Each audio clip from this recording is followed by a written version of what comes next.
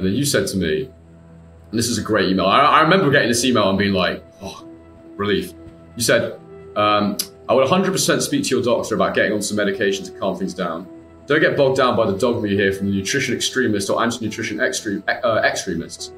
Proper diet combined with proper medication and medical supervision is the best route to go if you're in need of it. Obviously, no one wants to be on medication if they don't have to be, but I would have died and lost my colon without medication when I was in hospital. I would use all of the tools disposable to me to get as healthy as possible. Your doctor can always let you come off the meds later in the future if you don't need them. I would say it's better to use the med- meds now and come off them later if your doctor lets you, rather than avoid medication and eventually find yourself in an emergency scenario. I'm sorry all of this is happening, Harry. Keep fighting. But fight smart and do what you need to do in order to live to fight another day.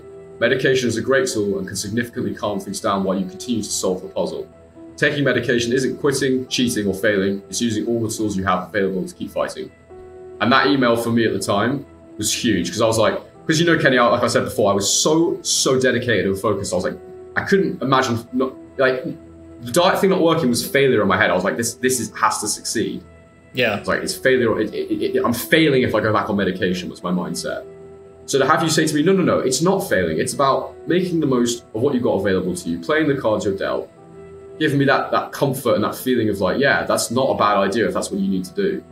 And that really helped me. So I just wanted to say that so people watching can kind of get a sense of, you know, Kenny's not someone who's like going to make you do, like, he's not going to be like, no, don't go on medication. That's a terrible idea. Like, you're, like, that ethos you preach is, is real. So that, that was, that was so helpful to me at the time. And I needed that at the time.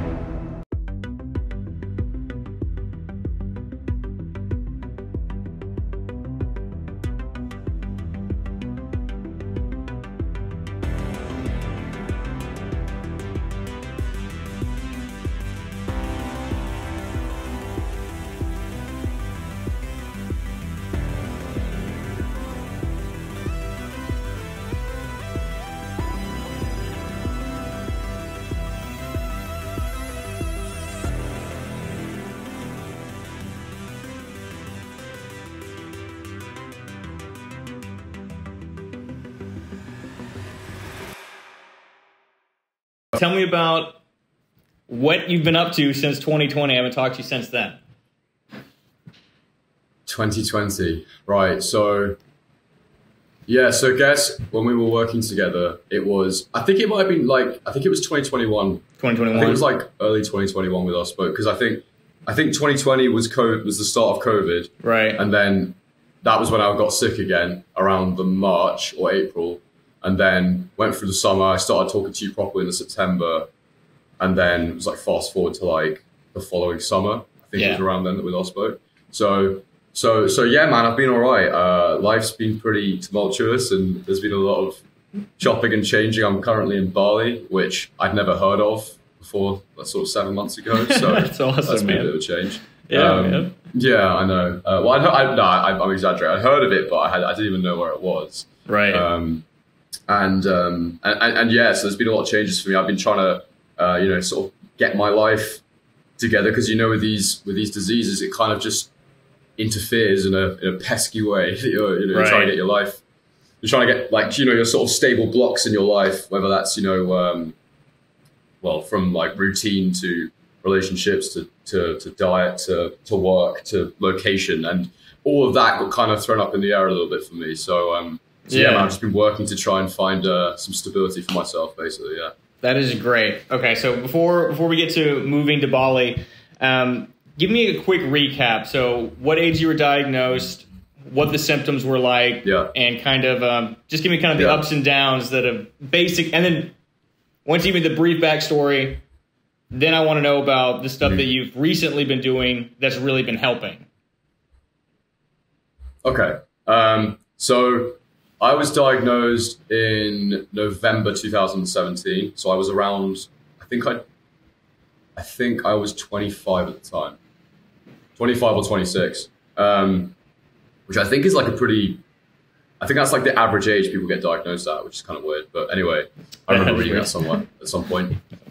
Yeah. Um, and I was actually I was in your country at the time. I'd moved out to Los Angeles. I was trying to I was signed as a scriptwriter and I was trying to pursue the dream out there, so to speak. Um, and I think um, just a mixture of different things meant that I started getting some symptoms basically of, of ulcerative colitis. I didn't know that at the time. I was like, what the hell's going on? So I was like going to the toilet a bit more than usual. I was having a bit of mucus and stuff and a bit of blood. And I was like, I just thought it was going to be like, at first I was like, I was convinced I had like a parasite or something. I was like, because I'd never even heard of, you know, autoimmune diseases really. Right. Or I'd never been sick with anything in my life. I'd, I was perfectly healthy. So it was kind of strange to me. My diet had never been particularly particularly uh, well. I never thought my diet had been particularly bad. I never, you know, I hadn't been a particularly ill person, so I was kind of like, I don't know what this is. It's probably nothing. And then Yeah. um, I went and got diagnosed, and and yeah, long story short, they were like, did the colonoscopy and all that, and they were like, yeah, you've got ulcerative proctitis. So mine is the lower colon specifically. Um, so before it goes round the bend, mine's there.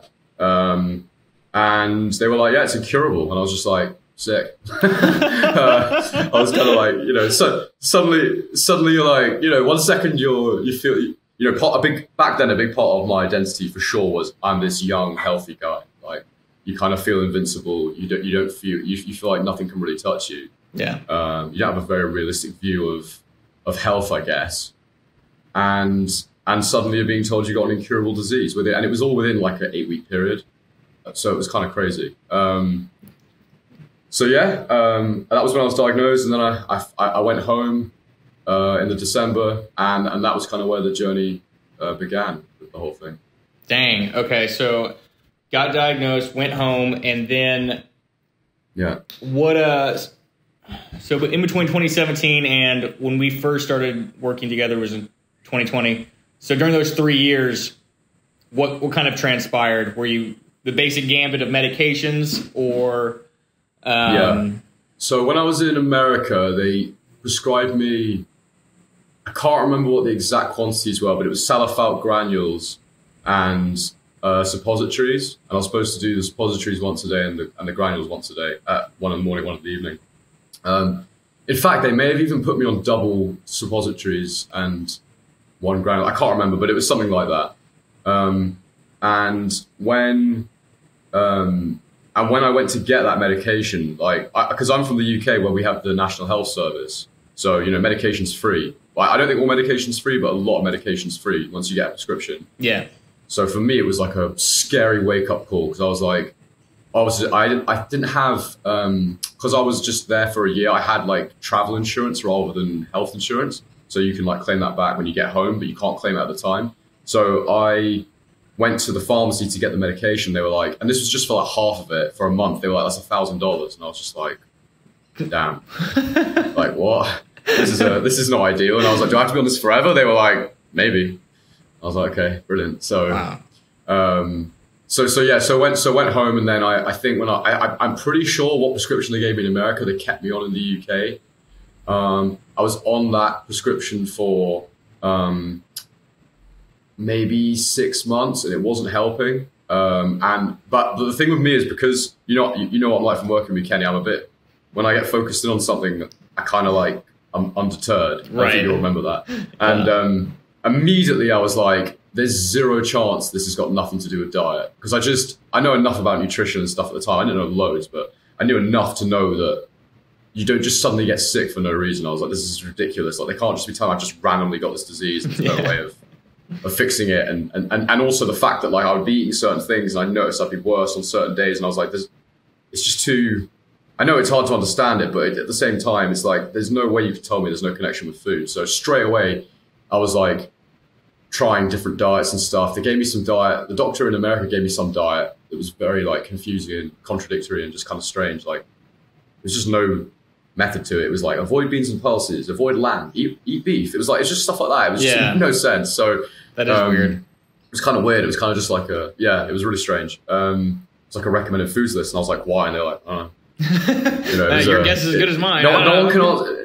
Yeah, no, one- no one can answer you anything. That's the thing that's so the medical professionals can't answer you anything when it comes to this stuff, and it's so frustrating. Which is why pretty early on I was looking for alternative solutions. But anyway, um, yeah. So then I had I was on that medication for about six months, and then basically like I I just I found your I think I found your channel a few months in, and I think that's when I started doing the kefir and stuff like that. Did the cabbage juice for a bit as well. That was all off my own back, just like trying to figure out by myself. Yeah. Kind of like watching your YouTube videos a little bit.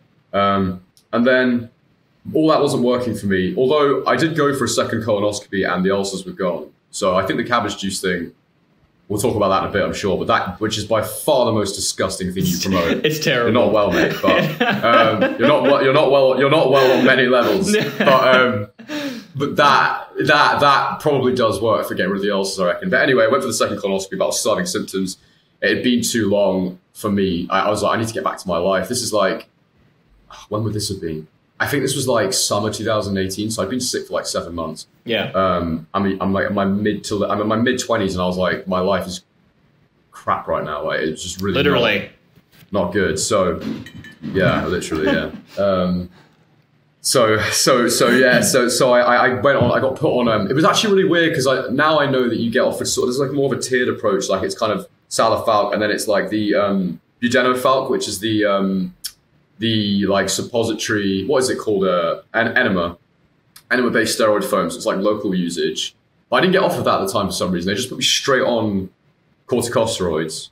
It Yeah. was a low dose, and I think I did it for like eight weeks, six to eight weeks, I think it was. Um, but obviously, the second you take them, you know, every all the symptoms are just gone. Like instantly, my symptoms were all gone, which was like crazy. And I was like, "Oh, I'm fixed then," because no one really expl- no one explained anything to me. So like, I got given the corticosteroids, and I was like, "Why don't you just stay on these? These work great." And then like, I find out that they're like the worst thing for you ever. like, they're so bad for your body, and you know, and and, and like they, I felt so on edge when I was on them. Like I just, you know, I, I remember like I had a bunch of side effects, and I just didn't know how bad they were for you. So I was like, oh, I've got these. These are great. You know, why did no one give me these straight away? Um, so yeah, did those, got into remission, and but then I, you know, but then I'd still see symptoms from time to time. Anyway, yeah, that was the initial sort of. That would have been the initial sort of like year, more or less. And so they got into remission about a year later. Yeah. Okay. So they they cycled you on and off of corticosteroids, and you were still seeing certain symptoms while on the steroids, or like in between the steroids.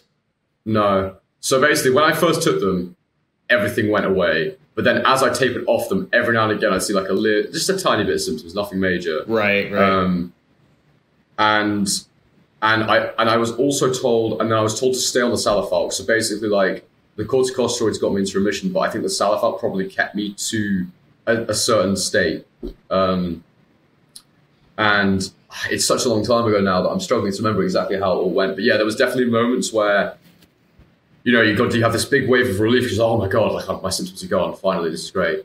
yeah. And then you ha- you see like one little bit of mucus, and you're like, oh god, like, yeah. no, like, spirals out of It- control. yeah, like yeah, yeah. You're like, oh no, it's still it's still there. It hasn't gone anywhere. Um, yeah. This is not this is not a real remission. Um, but it, but you know, to be fair, it did get me to a place where I wasn't like bleeding or anything like that. So Yeah, and, that's and I wasn't going to the toilet too much. that's kind of the it, it's such a interesting position to be in because you're exactly right the corticosteroids they decrease the symptoms so much i wish that i had done a better job when i was going through that period if i'd known what i know now and i'd used the corticosteroids and that blank slate that they gave me during the time that i was on them to really take advantage of the nutritional aspect and really target Yeah. for me the gut microbiome stuff i think i could have saved myself a lot of pain Yeah, and so again, my, my kind of my essentially Yeah. thought process with all of that is, yeah, I want to use medication to a in emergency met situations. I think that's great, right? That's what allowed me to keep my colon and get out of the hospital and not um, have to progress down the other route. But you're right, long term corticosteroid usage can really mess up your body, and it's really difficult to claw your way back from that. So, anyways, yeah, that's really interesting. Um, so after Well, I remember. I know, I know that. I know that. I know that you know because I remember you talking about how your testosterone levels like plummeted because it shut off certain bodily functions and whatnot. absolutely. yeah, man, like you don't look, you don't want to be on those things, but like I- I'm like, I'm sure we'll repeat this mantra throughout the podcast, but I, I always remember you saying to me, it was so helpful, which was just live to fight another day. Sometimes you've just got to live to fight another day, and sometimes you do yourself more damage by not accepting the kind of lesser solution. Yeah. Um, so yeah, Yeah, my in my head, that's that's yeah. I forgot that I said that. Yeah, well, that's genius, of course. um, Yo, that actually sounds really good. Did I say that? yeah, I'm, I'm gonna write that down. Um, yeah, in my No, head, it's it's always been why not use everything at our disposal to get better? Like, I mean, Hmm. there's so many things we can use and so many ways to combine them and so many ways to change them that in, in my head, everyone's got their own little unique puzzle. So if you just tinker with the puzzle pieces until you solve your own puzzle, then yeah, I, I just can't imagine not not doing that. So, anyways, yeah. Yeah. Okay. It's just about maximizing the cards you're dealt, you know. Um, well, we'll get to where I'm at right now and how I'm managing things right now. But look, it's not it's not perfect. It's not exactly what I'd want in, if I could choose, but but it's working, and I have a I have a really good life right now. So you know. Yeah, that's Anyway, great. I'll let you proceed. So, uh, so you you got to you got to remission, uh, 2018, 2019. Yeah.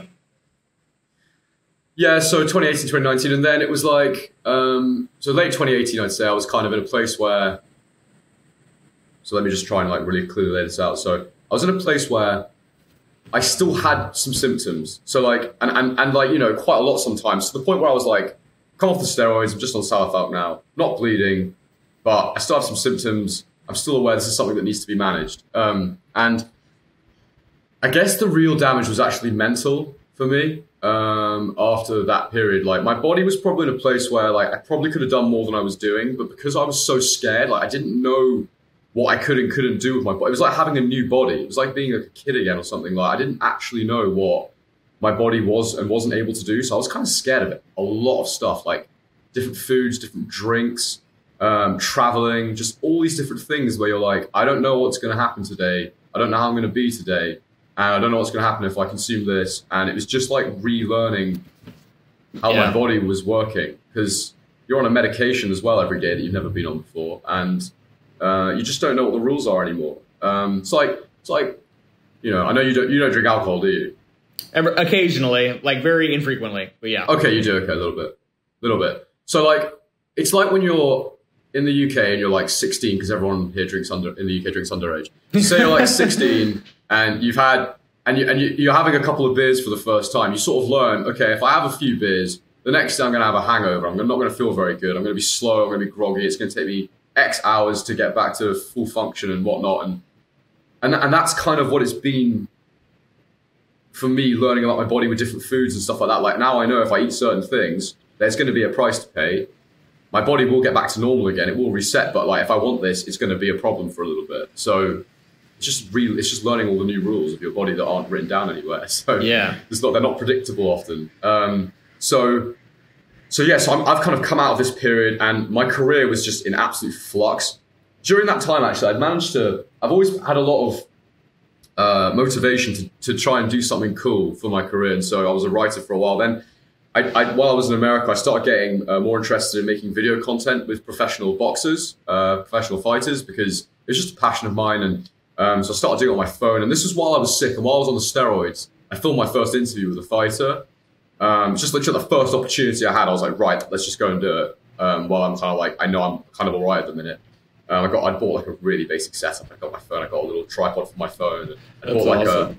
a, a dual lapel mic for two for two people. Um, Yeah. Did this first one. It was a creative thing. It was like an off the cuff.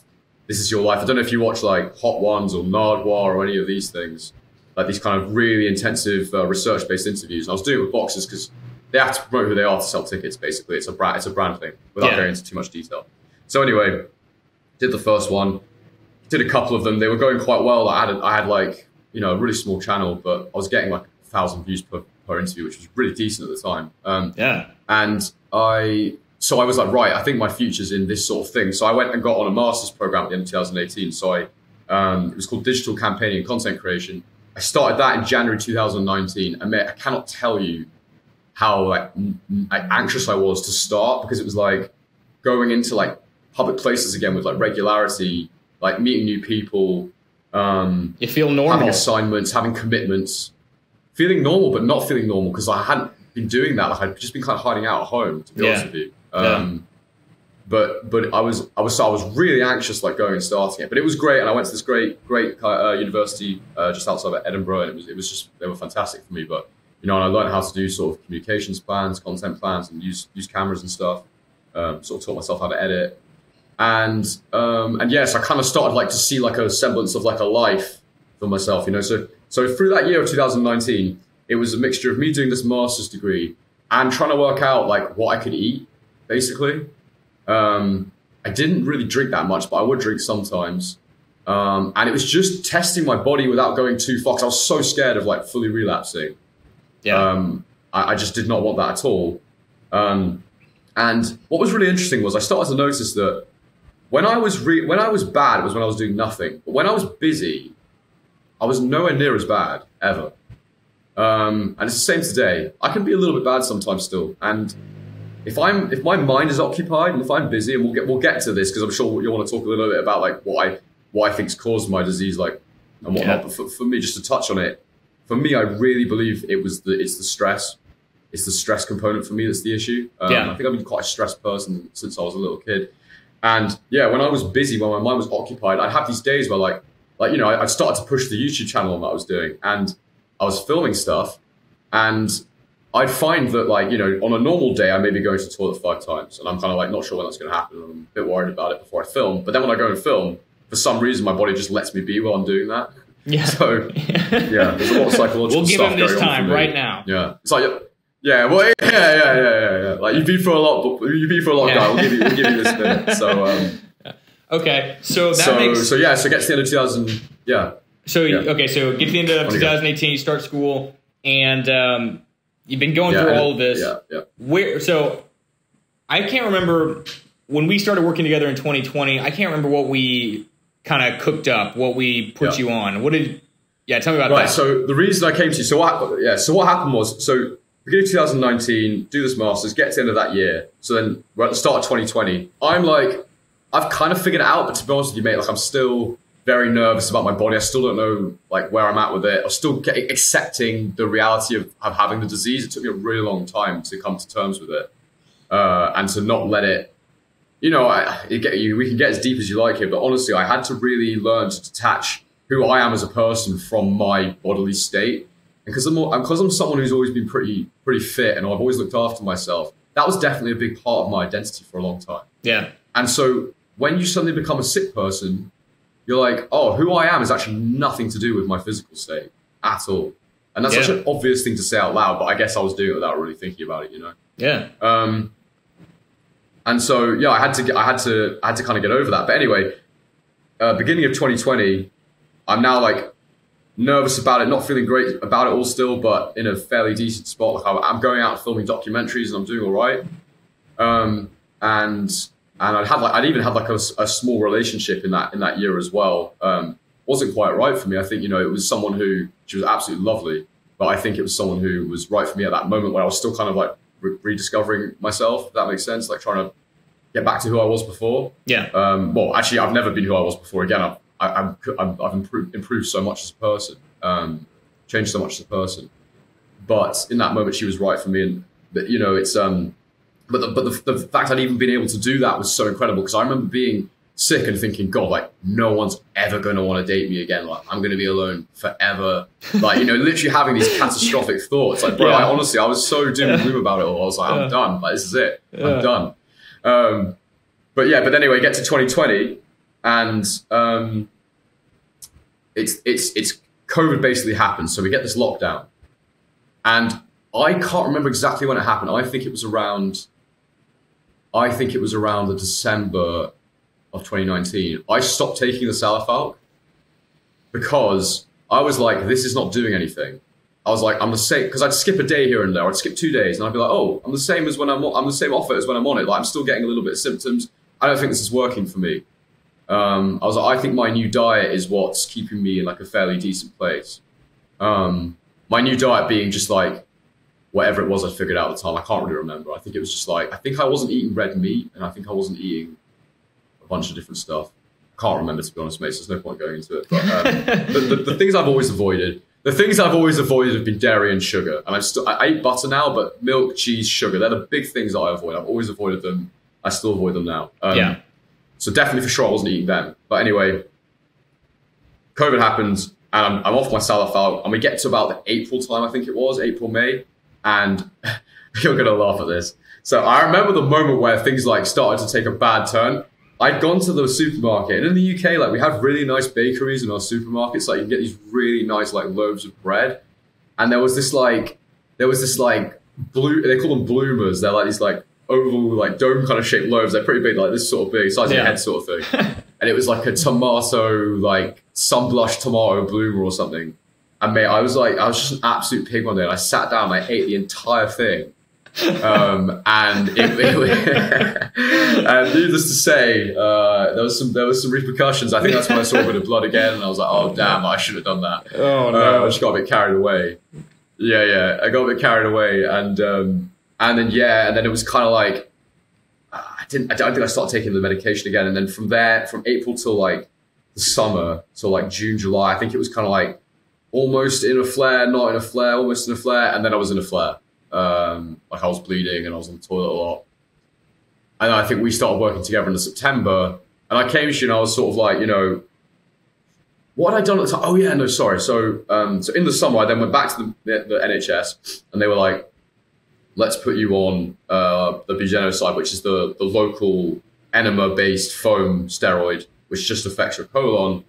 I was terrified of taking any steroids because of COVID. I was like, I don't want to weaken my immune system right now. yeah. I was like, it's better. I was like, maybe, I was like, maybe because you know there was so much fear instilled in us during that time. I was like, maybe it's Right. better just to just to deal with the flare rather than get COVID because I just didn't know what you know. The media was so high on it; it was kind of like un, unclear what the situation was. I was really worried, I kept like checking like guidelines on people with autoimmune diseases and whatnot, and like seeing if there was any any guidance on it, which there wasn't, of course.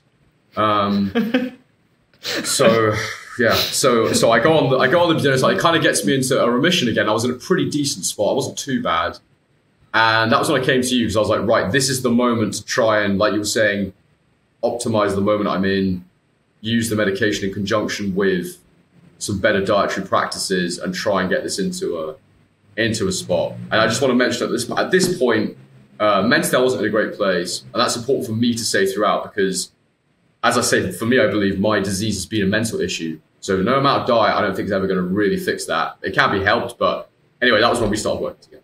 Okay. Dang, man. Yeah, that was quite a rough few years, especially with the start of COVID. I forgot all of that coincided at the same in the same few years. Yeah, man, it sucked because because you know even when even when little oh mate, honestly, I feel like my life was on pause for five years. Like it, it was it was so bad, but um, but honestly, with the um, with the COVID thing as well, like people that had our disease was it was horrendous because when they started reopening stuff, you know, when they restart started reopening restaurants and pubs and stuff again. A lot of places you couldn't use the toilet, or like they'd be like, "Oh, you can meet in this park. We got this outdoor venue set up." Like, so I was living in Edinburgh at the time Yeah. they'd be like, "Oh, we've got this park. We're going to do like an outdoor thing, but there's no toilets." So I was like, "That's great." So I can't, I can't go there. I'm stuck inside still. Not worth it. You know, yeah. no, not worth it. And and that was actually, and actually, that's something we should also talk about. It's a big thing for me has been coming to terms with going to the toilet wherever necessary. Yeah. Because I had a big thing for a long time about using. I know you've got some stories, Oh, but I had a big thing for a long time about using public toilets. I know a lot of people do. Like people don't like using public toilets. Well, Yeah. some people are fine with it, but a lot of people aren't. Yeah. Um, and I was one of those people. It made me very anxious and didn't want to do it. And um, a lot of time, men's toilets are absolutely disgusting. They're So I feel like women's toilets they keep it slightly better. Yeah, they're horrendous, mate. Like no seat, no paper, Yeah. soap's run out. You know, there's there's there's pee all over the all over the seat. You're just like, what Yeah. kind of a life is this? So, you know. But anyway, you just have to deal. You just have to deal with it, mate. I used to, you know, I, I used to carry like a roll of toilet paper. in my- Like you'd like break Yeah. the load off, put it in your back pocket if you're going somewhere. You know, just to be sure. You Always know, the things you have to do. My mum even bought me. She was like, she found this um, for people in the UK. This is a good tip. I don't know if it's the same in America, but you get the disabled toilets, and there's a key you can buy off Amazon that lets you into any disabled toilet. It's Wow. mad. Like it literally unlocked any of them. So you always have Yeah, toilet yeah. I never used it because I was like, yeah, well, I never used it, bro. I was like, I ain't doing that. But uh, I should have, but I didn't. So yeah, never. Car- I was like, it's quite a big key. I was like, I'm not carrying this everywhere with me. yeah, that is a So, new yeah. one. I've never heard of that before. That is interesting. Um, No, honestly. Okay. Yeah, fam- you know, if you're lucky enough to have family that care about you, they, they come up with all sorts of stuff. Anyway. That yeah. Oh, you're absolutely right. Yeah, no, my my mom and Yeah. doing FMTs and stuff. Yeah, I bet we both have good families. That's good. Yeah. Um, I remember. That's the sign of a good a good family. Yeah. yeah, it is. Oh man, yeah. I have a, a lot to. Uh, really, all of it. I need have all the credit needs to go to my parents for you know encouraging me to even pursue this. I, I didn't want to. You know, I thought it was I thought it was dumb. Didn't think it was going to work. Uh, all the doctors told me the same thing they told you. Diet has essentially nothing to do with it, and it's it's incurable. Hmm. So yeah. Um, but uh, Kenny, I got told to eat cheese. I got Wow. told to eat cheese by a dietitian that was on the on the National Health Service in the UK. that's wild. And I was just blown away. What was the what happened was because these dietitians, the dietitians don't have any idea about the gut microbiome, or like maybe they've heard of it and they'll go and they'll just flippantly say like, "Oh yeah, it's because of your gut microbiome," and, I'm like, and that's the only time they'll ever mention it. Right. But they don't know what it means or how to, you know. Yeah. and, and so like I remember I went in once and because I, wanted to see a dietitian, I was like, maybe they can help me like do a diet for my IBD. And this dietitian didn't have a clue about IBD, and all they did, all they were looking at was like the the recommended daily intake of like, are you getting enough fat? Are you getting enough protein? Are you getting enough this, that, and the other thing? They don't care where it's coming from either. right. So you know, like, who the hell tells you to eat more cheese? They're like, yeah, you can get to, you get some more protein from from like a block of cheddar. I'm like, are you mad? I know that's the one thing I know I can't eat. that will So, destroy you know, me. It's just crazy. yeah, do you want me to get worse? Because I will. Anyway. So okay, so we started working together, and then I know we are, we talked about cabbage earlier. The the cabbage juicing thing, I have a yeah, I have a love hate relationship with that very strongly because it's one of the only things that immediately gives me PTSD if I ever juice it or smell the smell of cabbage juice. It like brings me back to 2015, feeling incredibly sick and disgusted and just terrible. But uh, but it's also one Oh of the God. only things that, for me at least, that knocked me out of the flare in three days. You know, the craziest thing. Um, but Yeah. anyways, So well, I didn't I didn't necessarily I, I didn't necessarily see any physical improvements when I did cabbage juice, but I know that when I got my colonoscopy for the second time, previously there was ulceration, the second time there was no ulceration. My, my issue just became inflammation. So I was still having symptoms, but there were no ulcers anymore. So That's it did crazy. heal that problem. that's cool. Um, and I remember like it was really crazy when I did my second colonoscopy. The ulcers were gone, but there was like this mad like wound thing that was just like bleeding inside me. I remember seeing that, and they were like, "We don't know what that is." I Weird. like, awesome. What was Yeah, it was really weird, but the ulcers were gone.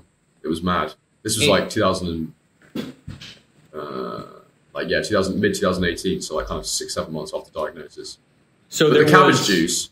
Oh, sorry. no- Go yeah. ahead. Go ahead. Yeah, yeah, no, all you, all you. Well, well, yeah. Well, there's no point talking about it because they don't know what it was. I don't know what it was. It was some kind of inflammation that was bleeding, some kind of wound thing that was bleeding. But it Um, wasn't maybe it an was an ulcer. ulcer before. I don't. I don't know. That's no, it wasn't an ulcer anymore. If it was one, so Okay. really weird. But the ulcers are all gone, and I put that I put that down to cabbage juice. Um, Yeah. But the cabbage juice, what you learn, I know more about cabbages than anyone should. Right? you shouldn't know this about. But what I discovered was, so my, my home where my family live, it's sort of like a 20 minute drive from the nearest shop that would have cabbages in it. Yeah. So ev- what I discovered was if you have a cabbage that's even more than one day old, I'm sure you know what I'm about to say. It becomes like it gets like this kind of horseradish quality to it, where it kind of it, it has this like burning quality, and like it is it is horrendous. Like it actually hurts to your throat when you drink it, and it tastes so so bad. I can't tell you how bad it tastes, and so I, I was I was going out every morning to get one cabbage. I was like, it has to be as fresh as physically possible. Oh no. I was like, I cannot have one that's more even more than a day old because it was Yeah. so disgusting. Um, where you know the smart thing to do would have been to buy them in bulk, but honestly, after one day of, of owning a cabbage, it becomes so rancid that it made Right. it ten times harder to drink.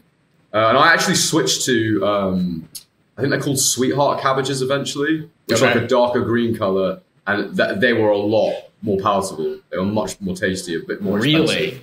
But I think they did this. I think they did the same job. I, I, I don't know. Maybe it was a cheat. I don't know. But anyway, it was a lot better than the, the standard white cabbage. That's for sure. Yeah. So yeah, cabbage juice is horrific. Good. Horrific. Yeah, it's it's pretty bad. It's so the idea behind it is that it's got this um, enzyme called S-methylmethionine that is supposed to improve or speed up the wound healing process or decrease inflammation.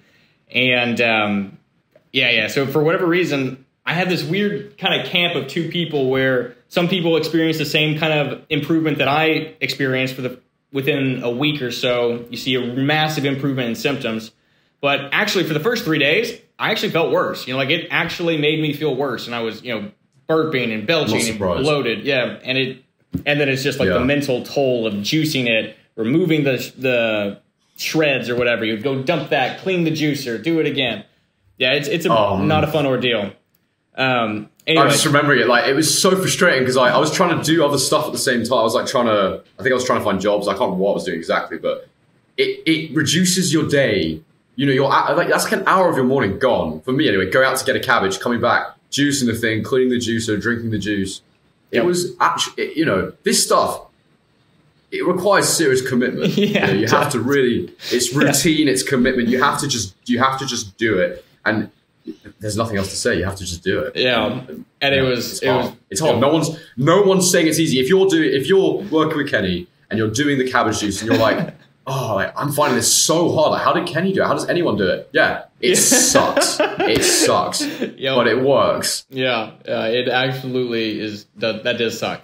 Um, cool. Okay, man. So I want to know about kind of what you landed on. So I guess when we were working together, we did the cabbage juice, we did some general gut microbiome stuff, yeah. and I can't remember yeah. whether you saw improvement or if you're seeing ups and downs or what happened. But yeah. I'm interested from then so, to now. I want to know what you've settled on and how you're feeling.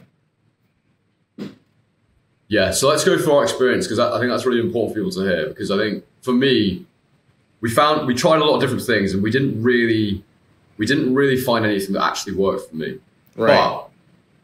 But there's a reason we're not enemies right now. We're having a good conversation. It's because no, there were there were things that actually worked a little bit. That's, that's actually not a fair statement.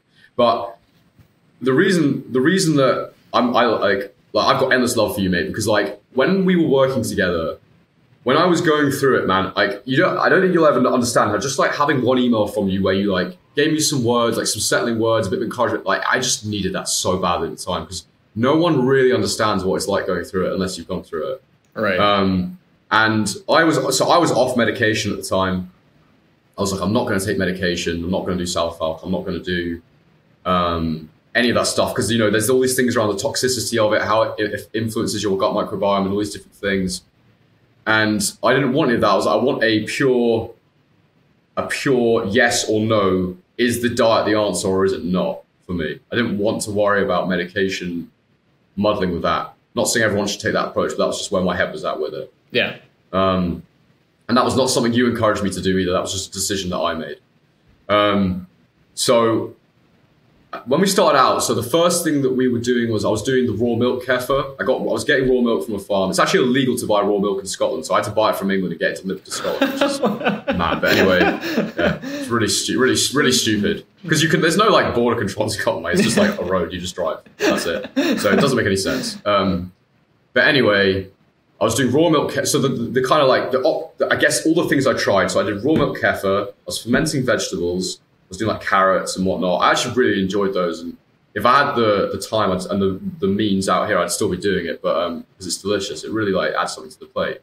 Um, that, that, that, there was no chore involved with the uh, with eating those. Like they're, they're great. Um, I tried L. reuteri yogurt. Do you remember that one? Oh boy, yeah. I need to I need to come back around yeah. to that one later. But yeah, yeah. Tell me about it. yeah, Okay, interesting. Um, yeah, I did numerous different shakes. I did the I did the thirty different plants a week as recommended oh, in Fiber yeah. Fueled. Yeah, I remember that. Which now, was yeah. super difficult, super super difficult to do. I tried um, a supplement called I think it's like Myo Plus or something, which is like a mitochondria energy boosting thing. Myo Plus, I think it's called. Yeah. Uh, which Edinburgh University were doing uh, trials on. So I was like, I'm not going to do the trial. I'm just going to get it. So I yeah. got that, tried that for a while. Um, I tried. Uh, I was obviously I was also doing a probiotic supplement with alongside the kefir and everything else. I think I was on like 700 mils of raw milk kefir a day. I think that's what I got to, something like that. Uh, maybe it was more at one point, um, which is kind of expensive. Um, um, I was doing. Um, I tried. Oh yeah, I also tried. Do you remember that? It's actually quite interesting. I, would be interested to see what you think of them now because actually I got an email from them this week. I still I'm on their mailing list that company called Pendulum, who are based in the states, Pendulum who put different Yeah. So basically, do you remember I did the microbiome test? Yeah, yeah, yeah, And- vaguely. Yeah. And This we is- found out that I had zero percent. Yeah, I had zero percent Akkermansia in my gut, which is the butyrate I do remember talking bacteria about in the colon. So, Yes. So then you made me a shake. You made me a shake specifically for that, Yeah. um, which was like beetroot, orange peel, uh, cr- uh, pomegranate, yeah. um, like all the polyphenol, like dark, dark reds and purples. Um, and so I was doing that, and then basically I found a, I found a lab in America that only like a year before that I figured out how to put Akkermansia in a supplement for the first time ever. right. Yes. And yeah. yeah. and they and they've just announced Halle Berry as their chief communications person. Um, I thought you were going to say Halle chief Berry. something else, and I was like, "What?" Yeah, that, that is wild, but Yeah. yeah, She, yeah, she's like their because she uses their products because it was developed for people with type two diabetes, so you can get off your insulin. It, it actually sorts out people with type two diabetes, as it turns out. So really interesting. That's and they, crazy. They're now doing different blends. So the, the supplement I was taking was bifidobacterium mixed with Akkermansia. I think they've got pure Akkermansia. I think they've got different ones. But that one in particular was interesting to me because I didn't have any Akkermansia. And in terms of the mechanisms, we don't actually know if you're taking this supplement if it's then going to populate your gut or if it's more like the um, the lactobacillus based ones where they're there and then they leave again. They're there and they leave again. Right. Um, so I don't know, but uh, it didn't work for me, and I, I think it didn't work for me. I didn't give it. I, I didn't give it the right chance to find out. Mostly because I had to. They don't ship to the UK, so I had to get someone in America to buy it and send it to me. It got stuck in in um, customs for ages. So by the time it got to me, it could have been dead. Um, I was only able to do it for a month. There's so many reasons why it might not have actually worked, but it might still be a solution. Interesting for people to have a look at. Um, Yeah. Anyway, I think I think that's almost everything I tried. There was definitely some more things I tried, but um, I think I think that was those were the main things that I tried. Yeah. Oh, also Yeah. psyllium husk, which works. That Yeah. works, but I don't take it anymore just because I don't need to. I, and there came to it came to a point where I was like, this doesn't make any difference anymore. good. That's great. Yeah, um, cool. At man. time, helpful. So the uh, so the lactobacillus reuteri yogurt, I uh, need to apologize to you because the consistency and texture of that recipe was terrible, and so I uh, so I actually have just been Wasn't the best. really getting getting back into L. reuteri, and uh, I started you know like researching the recipe from Dr. William Davis. I was like, man, there's got to be a way to make this taste better, and I actually finally figured it out and got it perfect. So he makes his with half and half milk, so it's half cream, half milk, and it's not coconut milk, just regular half and half milk, and it came out thicker. So I was like, well, I can't really find half and half milk where I'm at, so I just got full cream. And so what I've been doing is doing 600 milliliters of heavy cream and um, 600 and 400 milliliters. That's so American of you, Kenny. Yeah, and 400 milliliters of, of just milk. And this comes out as it's like butter. It's literally like the consistency of butter, and it's phenomenal. So I'm actually Mm. That enjoying.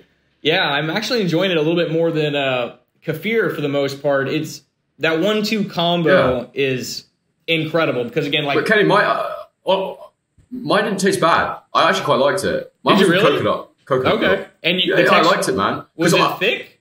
Well, I'd mix it. Yeah, it was pretty thick. I think I had a couple. One batch was thick, one was less thick. But I think the big thing was uh, it was very watery. I think that's from the coconut milk. Yeah. it comes in that. It's like a solid thing, and it comes in the water. But mine, I used to mix mine with raw cacao and honey, and that, and that made it anything. That makes anything palatable. So you know. the once you redid all of that in between 2021 to now, you've now moved Yeah. to Bali. Yeah, And would you say Yeah. you're feeling the best you've felt since this whole thing started? yeah. Okay. Mate, on, me on that. so many levels. Because, like, even if. I do need to tell you one more thing that happened while we were working together. That's important to talk about. Okay. But I'll, I'll mention that in a second. But if, if I hadn't got sick, there's no way I'd be who I am today. And I know it's such a cliche to be like, oh, you know, like hard times, you know, you know, there, there, they, there is no such thing as a bad experience or whatever. I'm not going to go as far as saying that because it's a bad experience. There's no choice about it. Yeah. But, yeah, but but you know, I've got so much out of it, man. Like I was not a, as much of a resilient person before as I am now. I've got depths to my to my. I've got reserves within me now I never had before. Um, and you know, I was, was I really that happy before I got sick? Looking back, I'm not sure I was. Um, whereas now I've, I, I know who I am as a person. I had to spend a lot of time thinking about that. And um, yeah, man, I'm in a good, I'm in a really, I'm in a really good spot, and and I and I owe a lot of that to to getting sick, and it just kind of accelerates that process of of of, of figuring out who you are and what kind of what kind of life you want to lead. It really accelerates that because you realize how mortal you are, you know. Yeah. Um, so what happened when we were and working it just together? destroys whatever whatever. Sorry, I was just going to say it just it just destroys whatever ego you have. It completely gets rid of it. Yeah. Um, yeah. Ego, ego death is a is a real thing when you get IBD. There's no doubt about that. um, so yeah. So what happened was what happened was. Um, and this is when I this was this was a really profound moment for me because it was when I really started to realize ah maybe this is what the thing is for me. So I remember when we were working together, something you'd always said to me was that you never really felt like you were a very anxious person during the process. Like you always felt like you were quite relaxed. I don't know if you'd stand by that in hindsight, because I was always kind of shocked by that because I was so anxious about the whole thing. I was always like, I was always like, he must have been a bit worried. Like, do you know what I mean? Like he must have, he must have felt some anxiety when he was sick because yeah, you know that. And, and but maybe maybe it was to say that you never saw change in symptoms, but you know. Anyway, so, from quite a young age, I was quite an anxious person. Yeah, go on, tell me, tell me. So, uh, I 100% felt fear and anxiety like almost all the time. You know, yeah. it, pretty much exactly what you described. I would wake up, first thing I would think about is, okay, this is yeah. not good. I hate crapping myself. I'm afraid to go to school. I'm afraid to go out to restaurants. I'm afraid to talk to people. And much like you, since I, I'd put my whole identity growing up was being an athlete. Like I really wanted to just be a football player. And I worked really, really hard to maximize the potential that my body was capable of. And when I finally got there, that's when I got sick and lost everything, right? And so it's a lot, a lot like what you described. Um, and so I was going through that same identity crisis and the exact same emotions and feelings, but failure wasn't really an option. You know, like I mean, I knew I could fail, and I knew that that was definitely possible. But in my head, I was like, I can't allow myself to believe that's an option. And so I wasn't, mm. I wasn't anxious or worried about. It's more so like I, I wasn't anxious or worried about failing because I was content to continue failing as long as it took right? And so mm. I wasn't I wasn't like jittery or nervous every day and like, oh no, what's gonna happen? What's gonna happen? Like I was already suffering, you know, like I was already mm. sick, and so it's like all I can mm. do. Yeah, it's already it's already really bad. Yeah, right. Just keep working. And so something that uh, there's this saying that I forget who said it first, but my wife picked it up and then she said it to me, and now it's this thing that actually helps quite a lot. It's just the antidote to anxiety is action right? And that just changed it for me every time. So anytime I felt nervous or afraid or I was upset with whatever's going on, I was like, okay, well, what am I going to do to fix it? And so it was, all right, I'm going to get on the internet and I'm going to figure out what is potentially causing this. And then I'm going to go out there and I'm going to find groceries. I'm going to exercise. I'm going to experiment with all of these nutritional things that I could be doing until I, again, like we said earlier, solve that puzzle. And that actually took away anxiety and fear for me when I was working on the puzzle. What made me afraid was when I was suffering and experiencing those symptoms because I wasn't working on the puzzle. Right? And so as long as like you, like if you if I was busy, if my mind was occupied and I was putting things together and moving forward, that helped attenuate the anxiety significantly. So yeah. Fair. Yeah, and also I know you're a man of faith as well, aren't you? Yeah, yeah. And I, I imagine that must have been having that mindset of being able to put your faith in something and just be like, "This is what I've decided. I'm backing it." Yeah, that must have been helpful too, right? Oh, Oh, one hundred percent. It's in in a lot of ways, Christianity is not fully understood. It's not perfectly understood by a lot of people who claim to be Christians or even you know people outside of the faith. You know, it, it's it's different, and I don't really know how to articulate or ex, or explain my kind of thought process behind it. But you know, because there's this big there's this big theological divide between okay, well, is God going to heal you or is he not? Why does God heal some people? Why does he not? And I don't really have good answers for that. But what I believed, based on my understanding, was that I believe that God, who sees us as his children, who wants, uh, it's, I believe it's Matthew, says, if you earthly fathers know how to give good gifts to your children, then how much more will your heavenly father give to those who ask of him, right? And so the idea is, okay, if an earthly father knows how to give a good gift to their children, why would your heavenly father, who's so much greater, not be able to give you good gifts? And that kind of, I'm so I'm kind of thinking on the fly here, so I reserve the right to change Sure, my yeah. opinion. But the idea is that Fine.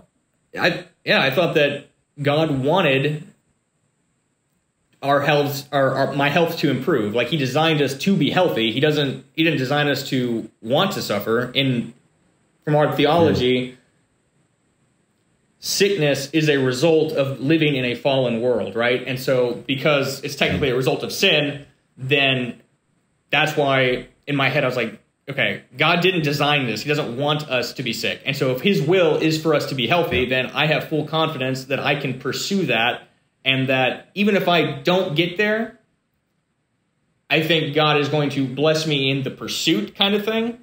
And so there's this other verse that which basically the idea is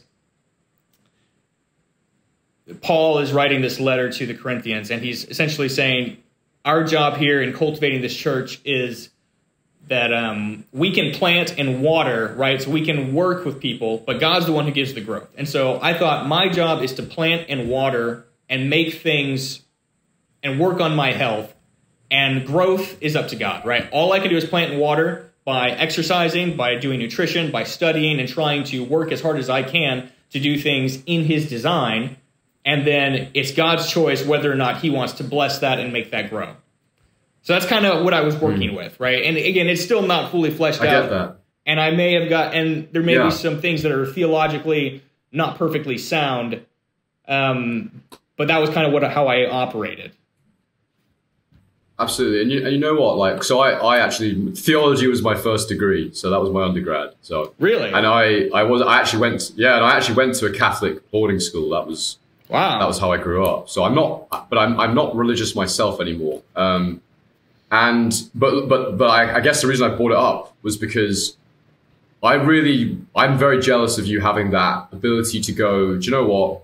Something bad's happened to me, but I know I trust that God is going to provide me with the solution, or I, or he he's give what what God has created is there before me, and the answer's there for me to find for myself. Yeah. So that, that, that, allows you a degree of faith in whatever you're trying is going to lead you to the right solution.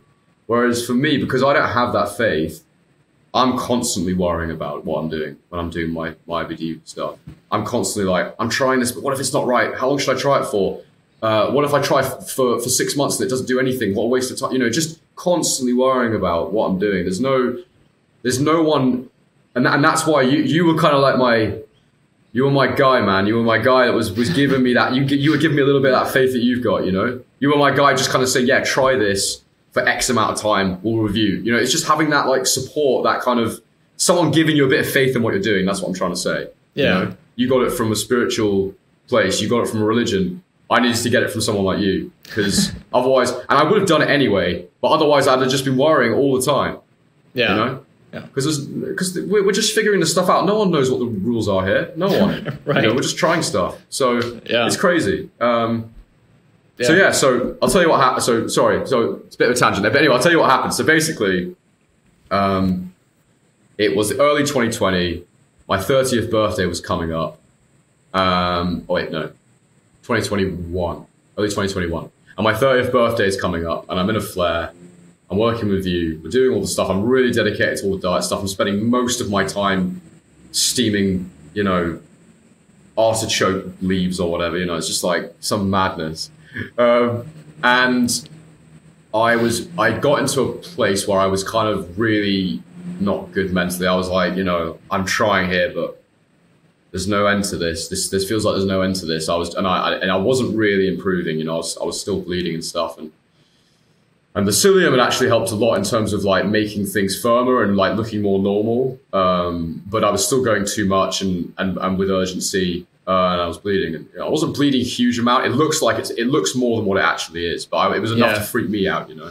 Yeah. Um, so that's kind of where I was at, and so I was like, right, there's only one thing for me to do. I've just got to get into like a mindset of just.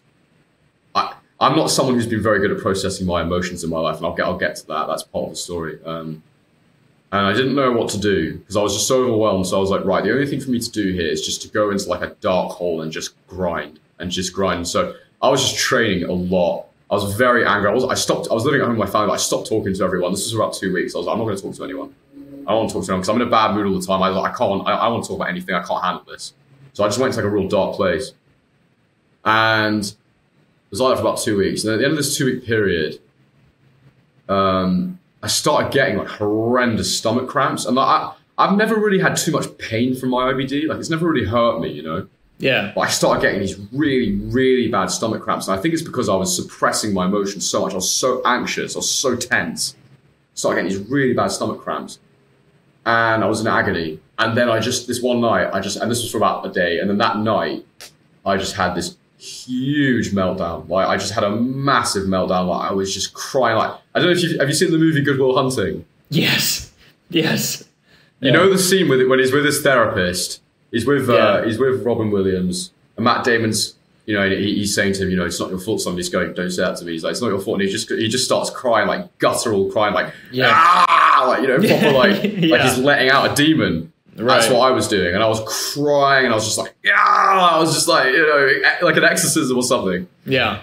And my mum's like hugging me and like, you know, I was just like crying and crying and crying. And I was just so like beside myself and like, I could barely breathe. And I was like, ah, you know. Yeah. And then went to bed that night and I was exhausted, like physically, like I was knackered just from this outburst.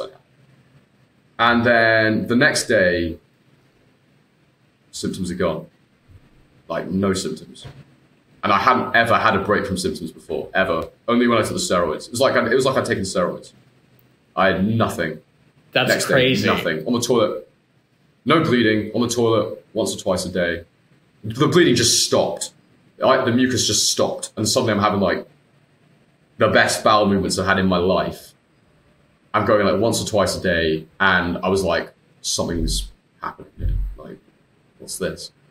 How? And that lasted about a week, and then everything came back again. Um, Dude, that's crazy. it's that is crazy. insane. Um, and that was when I realized, okay, I have done everything. I'm fit. You know, I'm, I was running like I was doing like 10k runs. You know, I just go toilet on the side of the road if I had to. I just jump in somewhere Yeah. or whatever. Didn't have to do that often. Luckily, I kind of do it on an empty stomach a lot of the time. Um, so I was doing crazy runs. I was doing a lot of weights. I boxed. I, wasn't. I can't remember if I was boxing at the time or not. But anyway, I boxed. That's my thing. So I was doing a lot of weights. You know, doing all this stuff. I was training a lot. yeah, your Um, traps look I was quite lucky in that it seemed even. Mate, it's just natural. Like I just have weirdly large traps naturally. It's strange. But, but anyway, um, the um, uh, I've seen some of your photos as well, man. I see you're in shape these days. But anyway, um, but anyway, you know, I, I was I was I was lucky that in the even when I was really bad, it seemed like I was always fairly okay at digesting nutrients still because Yeah. because it was proctitis. I think it maybe absorbed before it got to the point where it was aggravated. I don't know. I'm just speculating, but I think that's kind of what was happening with me. So I was Yeah. never too nutrient deficient. I don't think. So I was lucky with that. But anyway, um, that week goes by, and then and I had this weird remission period, and I was like, damn, this is crazy. And, and, and I was like, right, I've, I've been doing, I've been working with Kenny. I mean, my diet could not be more perfect for optimizing the gut microbiome. I've done all these different things, and nothing, and, and, and I'm still having symptoms. So clearly, for me, you know, clearly the cause isn't the same for everyone. This is Yeah. like a this is these are symptoms, but it seems like it seems for everyone there's a different reason. And so I suddenly realized, right, there's something there's something mental here. But it was too big for me to figure out. I tried working with a therapist at that time. Uh, I won't say who he was, but he was not good. Uh, he didn't he didn't get me at all. Um, told me we were doing a certain methodology called CBT, which is actually what my my mum does. Um, and I'm sort of telling her like some of the stuff we're doing, and she's like, "Doesn't like you're doing CBT." I was I kind of knew what to expect already, and I, I think he was just he wasn't a bad therapist. I just think he wasn't right for me. Um, yeah. well, maybe he is a bad therapist, but I'm not going to say that. I don't know. It Wasn't right for me. Um, so he didn't really help me at all. In fact, I felt like I was getting worse with him, which is pretty intense. But anyway, tried therapy for a bit then because I was like, right, this mental thing's something. Didn't work. And around this time, I'm like, right, it's time to go back on medication. I don't know what the answer is right now, but I just know that In fact, I, I, in fact, I wanted to mention this. I sent you an email at the time. Um, it was actually I reached out to you recently just to you know I was getting on because I read it and I was like, God, that was such a great email from Kenny. Uh, maybe I can pull it up actually. I've got my screen up here. Hang on. I'd like to read it because I think I think it'd be good for people to hear it because it's good to understand the way you work. You know. Uh, all right, it's quite it's quite an intense email. It's, I'll just read it to you and then I can tell you. So, so this actually gives us a good insight into where I was as well. So this is April 2021. I said uh, I'm going to skip the pleasantries. Um, basically, since I diversified my diet in terms of plants in the last five weeks, my symptoms have got quite a lot worse. I'm on the toilet five to nine times a day, and as of the last few days, the bleeding is at a level I haven't seen before. I'm eight days into using the Pendulum Akkermansia supplement, and I've and so I've decided to see that through. I have about three and a half weeks left. I'm also about to try a supplement for the mitochondria called MitoQ. There you go. Once I've completed this, if I'm not improving, hang on, uh, if I'm not improving, I think I'm going to go back on medication. I really don't want to, but I've tried so hard. And with no signs of improvement, I'm scared where the illness is heading and I need my life back. I feel sick at the thought of doing it, but I guess any of us could be dead tomorrow. A bit morbid.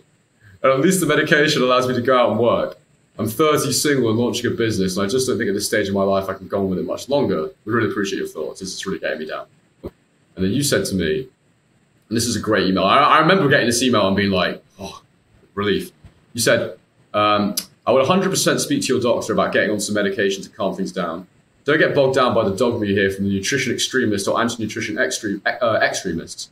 Proper diet combined with proper medication and medical supervision is the best route to go if you're in need of it. Obviously, no one wants to be on medication if they don't have to be, but I would have died and lost my colon without medication when I was in hospital.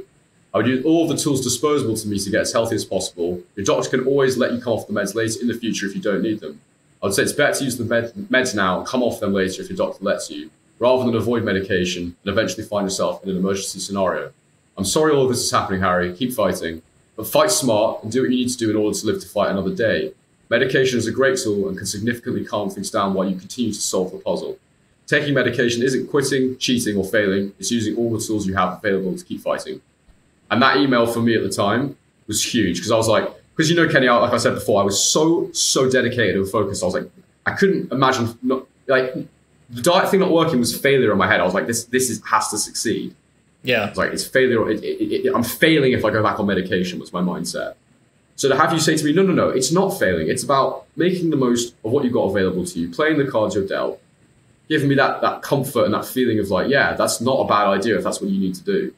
And that really helped me. So I just wanted to say that so people watching can kind of get a sense of you know, Kenny's not someone who's like going to make you do like he's not going to be like no don't go on medication that's a terrible idea like you're like that ethos you preach is is real so that that was that was so helpful to me at the time and I needed that at the time and as I say again whilst unfortunately for us the diet stuff didn't really fix me just having you there as a coach helping me make smart decisions was just so integral I needed that so yeah well thank you this is uh I didn't mean for this to be a coaching ad but man I am I will take it all day yeah, no, little just, free promotion for you, bro. Yeah, I'm a big yeah, fan. I'm a big fan. Absolutely. No, I'm I'm glad that was I'm glad that was helpful. I there's this weird thing where I don't I it's almost like you said, you know, no one can really understand how to talk to you about what you're going through if they haven't gone through it themselves. It's the same thing. It's like people who who are just in one camp or the other. It's it's all medication or it's all nutrition, and they they can get so aggressive about it. Like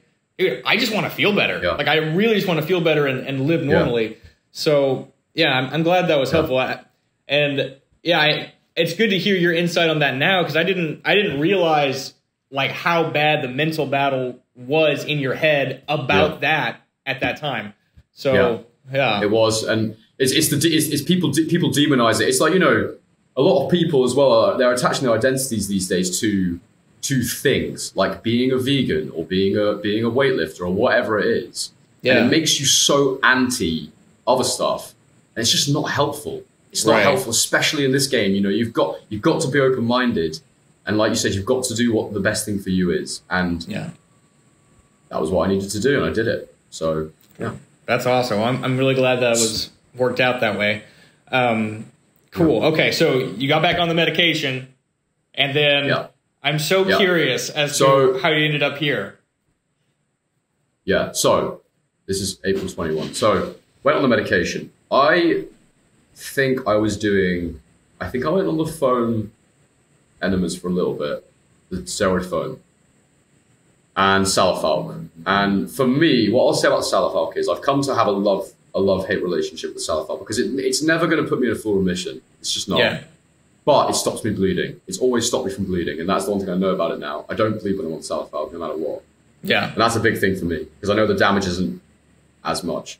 Right. So there'll still be days where I get some symptoms. Don't get me wrong, Yeah. but not no symptoms. But they're not the symptoms that ever stop me doing anything or, or, or change my plans for the day or anything like that. So they're just symptoms that are a little bit like, okay, yeah, I still have I still have IBD, but nothing that stops me doing anything. And the urgency is never the same with the Salofalk either.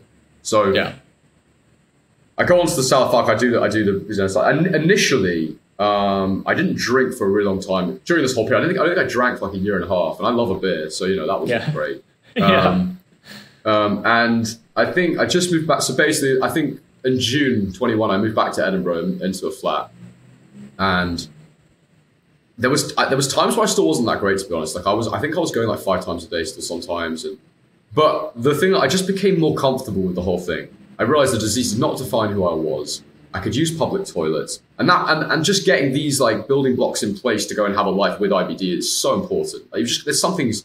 There's some things you've just got to. How much do you want to have a normal life? Is the question. Right. Are you willing to accept not living a normal life because you're afraid of using a public toilet, um, or because you might have to go to the Yeah. toilet too many times that day, or whatever? You just have to do it. And you know, if your friends are going to a restaurant where maybe you can't eat anything, have dinner before you go, or you know, there'll be then maybe there'll be something on the menu you can have. You just got to figure things out, man. yeah. And absolutely. It's annoying. It's stuff. It's stuff other people don't have to do, but it's just it's just the life you've got to accept if you Yeah. want to have some sense of normality. So that's kind of like I'm living like that for a little bit. Um, got to. I'll just tell you the whole thing. I won't go into too much detail because it's, it's not fair. But uh, I get to like later that year, and I've done a little bit of filming and stuff, and I've, I've managed to get a bit of freelance work. Got a couple of video retainers, my videography company, and um, I started dating this girl I've been friends with for a long time, and that changed a lot for me too. Because again, I told you I had these fears and these doubts that I ain't never going to date again. No one's going to be interested in me. Like I'm, I'm, a, I'm, a, I'm a sick guy with IBD. Like no one's going to want any part of that. I'm not comfortable with that. You know, Yeah. whatever. Um, and it kind of got quite serious pretty fast because we've been friends for a long time, and uh, we were gonna we were talking about moving away together at the end of the year and stuff like that. Um, and and then we so we were together for a little while, and it was going great, like really in love and stuff. And then um, and during this time, like I'm finding my confidence properly again. Like I was like, you know, doing little trips and stuff, and I was like, oh, like yeah, I can travel. This is all right. Um, and then the idea of moving away, we're going to move. We were potentially going to move to the Caribbean together at the end of the year, at the end of uh, 2022. And um, so I was like committing to doing this. I've not even. I'd barely been abroad in this time. Like I think I went to Italy once for like five days when I was on steroids still. So like yeah. I hadn't really traveled at all. I was really scared of traveling. I was like, what if I lose my medication? What if I can't find any food to eat? You know, just all these different what ifs. You know, Right. Always what ifs. Yeah. And um, and so yeah, and then we get to June, June twenty two. At this point, I guess I should kind of say what I'm on. So I'm on Salofalk once a day. It's uh, I got it right here. It's um, these guys. So the Yeah. Salofalk three gram granules on those once a day, and they keep me they keep me kosher. Um, so I'm on them. My diet, basically, like I said to you before, I avoid. I try and avoid processed food. That's like my number one rule, Yeah. if I can. So I don't have sugar, processed sugar. Fruit sugar is fine. So processed sugar, I avoid. I avoid uh, dairy. Uh, butter again is a thing for me now because I realize there's so little lactose in it. It's kind of fine. Um, but the, the, the cheese and the and the milk I avoid. I know some cheeses have um, barely any lactose in them, but I still think they increase mucus production. I remember reading. So anyway, I don't do cheese. I don't do milk. Um, and yeah, I try and avoid sugar, which is a lot of sauces and stuff like that. So yeah, it can be tricky. Uh, gluten is not brilliant for me either, but I eat quite a bit of sourdough because again, minimal gluten. So like, Yeah. I, I love sourdough bread, so no problem. But yeah, my diet's delicious. pretty clean, man. It's like meat. Yeah, man, I eat a lot of meat. So I eat a lot of meats. I try and get, I try and buy from the butcher. Um, so meats, fish, fruits, vegetables. That's basically my diet, and I absolutely love it. It's it's a great diet. Yeah, I feel That's great. great. I've got energy. I train. I train hard. Like I train like five six days a week, boxing, weights, whatever it is, running. Um, so physically, I'm like people look at me and they laugh when I find out I've got a disease, man, because they're like, you know, you're like the health, one of the healthiest looking people I've ever met. and if I've got this like disease I've got, man, and they're just like, what? You know, Yeah. it's mad, but it's one of these invisible things, you know. Um, so, so I was dating this girl. And anyway, then we we uh, we broke up. I won't go into what happened, but basically we broke up in the in the June of, of last year. Um, Mm. Just kind of, it, it was very heartbreaking, and, and, and it was it was horrible. And I, I I went into a pretty bad way mentally. I wasn't I wasn't in a good place. Um, and so around that time, I started working with a, a CBT therapist. It was actually just before this. I started working with a cognitive behavioral therapist. And the idea of cognitive behavioral therapy is you are sort of assessing how someone thinks.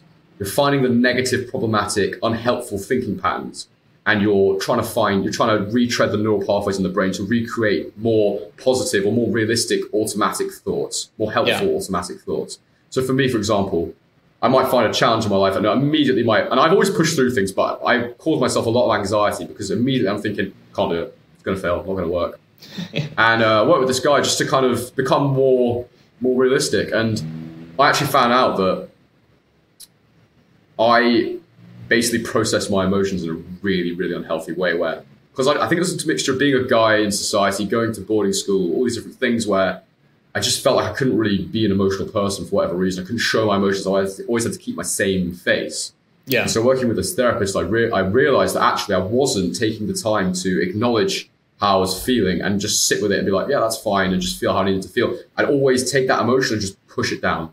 And I literally think I pushed it down to my stomach. And I believe this is why I got sick, based on that experience I told you about with that kind of week of remission from the outpouring. And I just Yeah. think I've never really been able to experience my emotions. So working with this guy, I started to accept my emotions more. I started to actually just let myself feel stuff and be like, because it, it was res- it was always a resistance before. It was like, no, you can't be angry. No, you can't be sad. And just be like, no, you're not.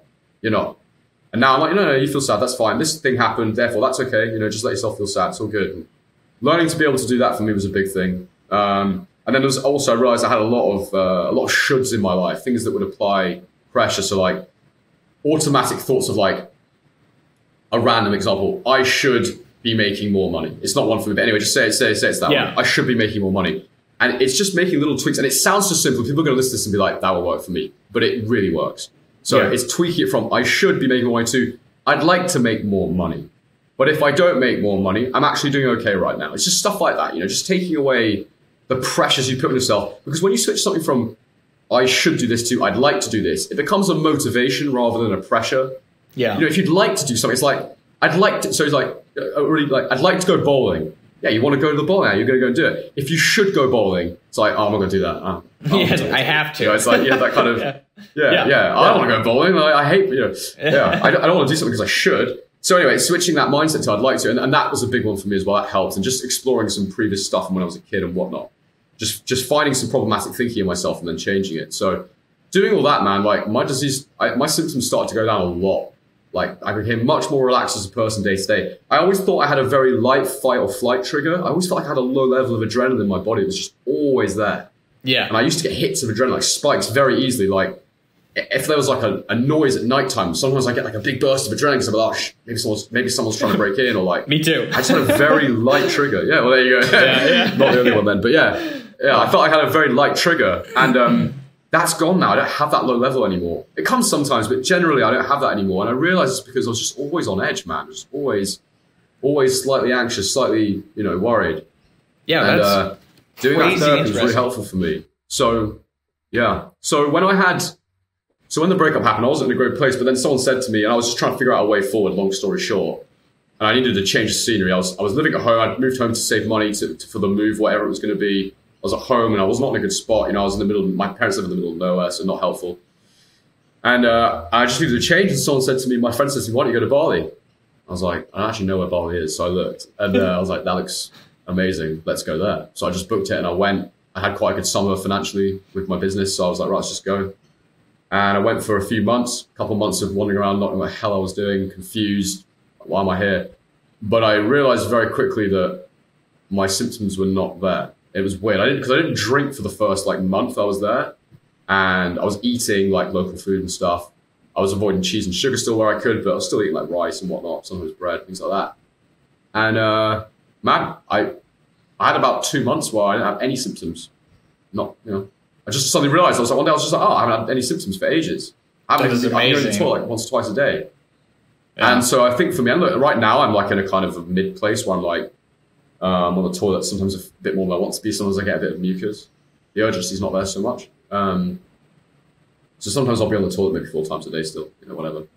Yeah. But uh, it doesn't. It's not. This is to say that I'm not cured at all. But I think I know now what the real issue for me is, and that is stress.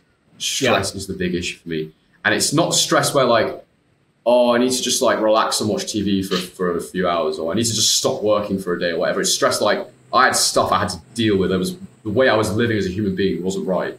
Yeah. It wasn't right for me. You know, it was it was it was putting levels of cortisol on my body at a, a base level that were just too high, is what I think, and I think that's what made me sick. And look, I haven't reversed the damage I did. It's still there. I'm still on Salofalk every day, um, but um, but I but I have a great existence right now, man. Like I, if I want to drink, I will. I, I'm not because at the minute I'm I'm trying to like get my life together. Uh, Yeah. I, want, I don't want to be hungover. I want to be able to train every day where I can, and uh, I don't want to. Um, I don't want to exacerbate my symptoms. Well, because alcohol will always do that for me, even if I just have a couple. Right. Um, actually, in that period though, I think I was drinking. and I was kind of okay, but uh, but yeah, alcohol's always always been a, a major trigger for sure. Um, uh, but yeah, my, my life is great, man. Like I, I kind of eat fairly well and um, train, and you know, I, I've, I, if I go to the toilet, like I know I'll be alright for a while. Like there's toilets everywhere you go, so even if you did need to go, it's not a problem. And I just feel kind of the most peaceful I felt, the most confident I felt, uh, the most free I felt in, in, in years. So, so yeah, That's so freaking I, uh, great, I'm man. definitely in a, in a good spot. Thank That you. man. is I really really good to hear. Yeah. I uh, yeah, I, I do remember. I do remember the back and forth and the beating the head against the wall in 2021, Mm-hmm. 2020, 21 when we were working together. And it's just like, man, it's just like every time we we get a plan, we would kind of see some improvement, and then it just ah, just smacked Yeah. into a wall. So it's really great that I think there was a little bit. And in hindsight, actually, I wonder, I do wonder if those improvements were because I was feeling more positive suddenly. I was feeling a bit more relaxed because it's like, we've got a new plan. Here we go. We've got a new plan. Let's go. Let's go. Like, Right. motivated. I'm excited. So maybe, maybe, Yeah. maybe, maybe it was the mental component. I don't Yeah. know. Possibly.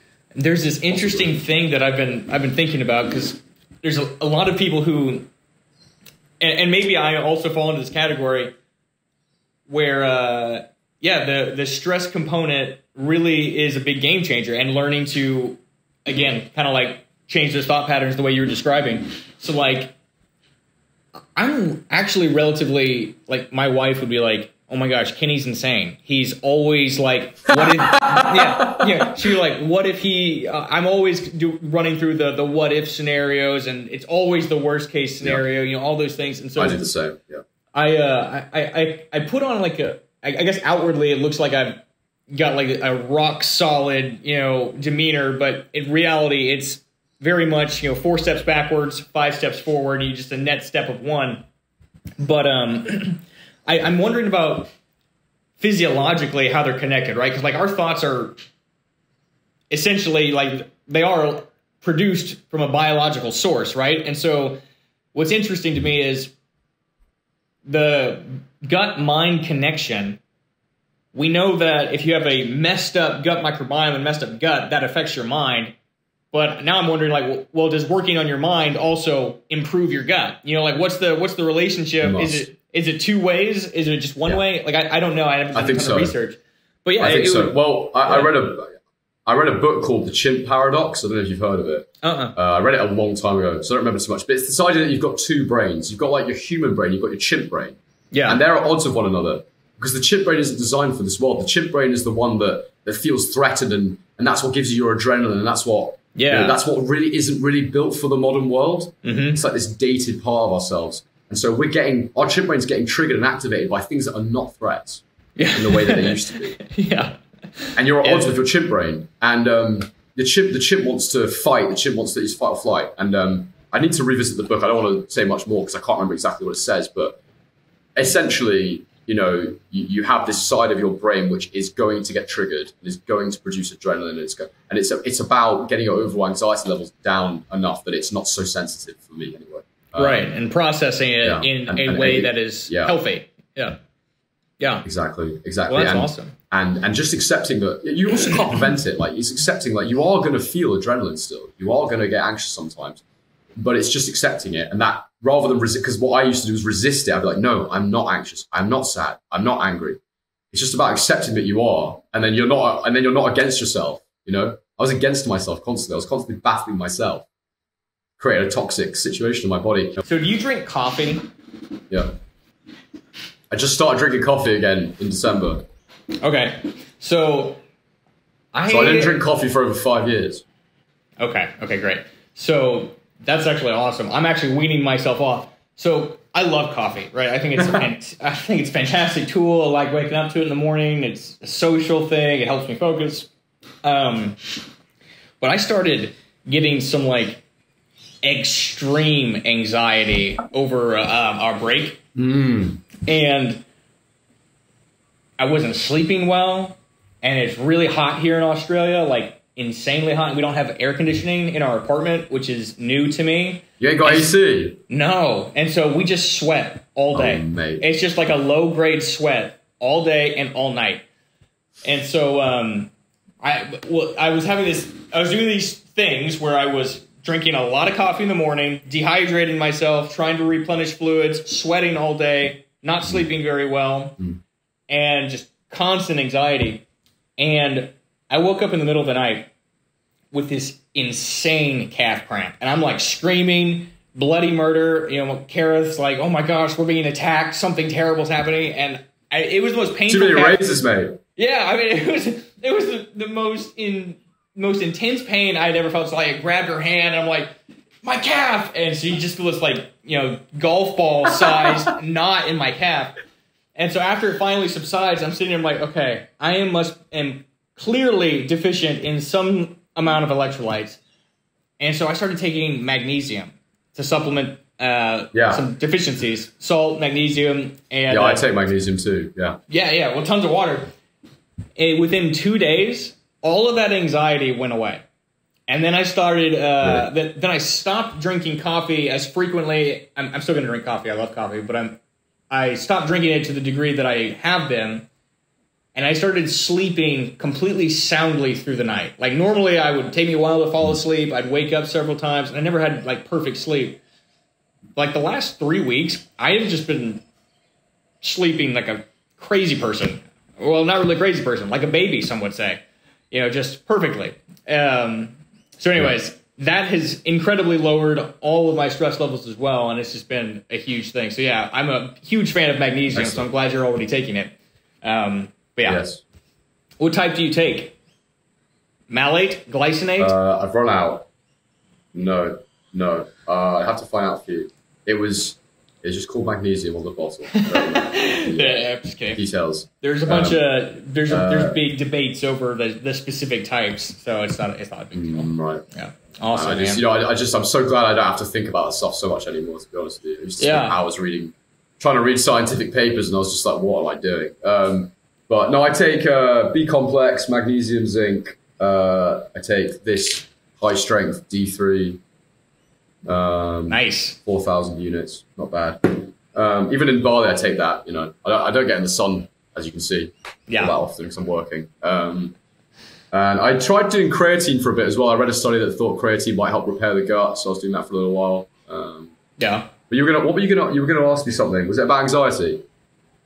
Oh, I was just gonna ask you about the coffee, about you drinking coffee, but since Yeah. you like just started, so yeah, Yeah. So, I, I, but no, it's really interesting you say that because so over December when I first started drinking coffee again, because I mi- I, I didn't realize how much I, knew I I knew I missed it, but I didn't realize how much I missed drinking coffee. I had one cup and I was like, I want another one. So I had another and then like all through Dece- for about a month, I was having about three cups a day of coffee, yeah, which is no coffee for five years and three cups a day. That's extreme. yeah, Um, and I, I actually got into a bit of a bad headspace when I was at home this time, and I had the exact same thing as you. I started getting very anxious. The coffee made that a lot worse. I was sleeping really badly, so I just Yeah. stopped drinking coffee again, and it slowly went away. Um, and so now, look, my parents always used to say to me growing up, everything in moderation. And Yeah. so, to the things that I know I can have, I apply that basically. yeah, yeah. And, and, I, and. I, actually think today, as, as, as somebody, it is, isn't it? As somebody, as somebody who uh, knows there's certain things they can't have, I look at everything else that I borderline can have and can have, and I'm like, right, everything in moderation. So for example, I eat a lot of eggs, but I'm trying not to eat too many eggs. Yeah. Because you just something will happen to you if you eat too many eggs. Even though eggs are good for you, something will happen. You know, Right. if you eat too much broccoli, something will happen to you. Like you just can't eat too much of anything. So coffee, I'll have a cup every couple, every three days or something. I'll have a cup. It's my little treat to myself. Have a cup of coffee. The coffee out here is great. Um, so yeah. Okay, so I got one question before we wrap it up. This is this is kind of something I think I want to ask my guests moving forward. Is with everything you know now, if you could like say write a letter or give some kind of advice to yourself when you were first diagnosed, or to anyone who's just now getting diagnosed, what would be like? What would your advice be in terms of either diet, uh, mindset, or both, or just kind of Yeah. what what do you think would be most impactful for to hear at the time you're diagnosed? So for me personally, we touched on it a couple times. Um, it would be so for someone who's really focused, who's really dedicated, who's kind of got that mindset of do or die. I'd say keep an open mind where possible, um, because like we said today, you've got to use everything available to you. This is not about winning and losing. This is about you living the best possible version of your life, and that version might include some medication, as it does for me. You know, maybe one day I'll get off the medication. I'm not. I'm not dedicated to anything now. I'm just like, right, what is right for now? That's what's right for now. That's what I've got to do. So if you're one of these people who's super focused, who is demonized certain practices, I would just try and not do that. Try try and keep an open mind to every possibility. Be focused, fight hard, uh, be be be strict and dedicated to what you've decided to do, but don't rule out other things. And to somebody who somebody who maybe isn't focused, who's like, I want to try something, but I don't know if I've got the I don't know if I've got the dedication, I don't know if I've got the motivation to do it. It would sort of be the opposite advice, which is just create a routine for yourself, write it down meticulously, and just stick to it. Stick to it for a period of time. Uh, you can do it by yourself, but working with Kenny, as I say before, again, some little free promo for your coaching, bro. it helps immensely. Keep you on. It helps. It helps keep you on track. It really does. Um, but for those people, I would say you need to develop some discipline and some routine, and it might be something that you, positive that you get out of the whole experience. So that's what I'd say. And then the third thing I'd say is, I promise you, at the end of it, if you can find a place where things are working for you, you're going to be a better person. I promise you that you're going to get things out of this that you never, you never thought you'd get. You're going to have depths and reserves of of, of resilience that you never you never had before, um, and you're going to be a you're just going to be a better human being. You're going to have more empathy for people. You're gonna you're gonna have more understanding, more emotional intelligence. You're to be kinder to yourself at the end of it, hopefully. Um, and and yeah, it, it's just to transform you a little bit. It has for me. Um, you might need to work with someone to kind of see how valuable the experience has been, but it, it, it's it's an experience like no other. That's for sure. So yeah, that's what I would say. That's great stuff. All right, thanks a bunch, Harry.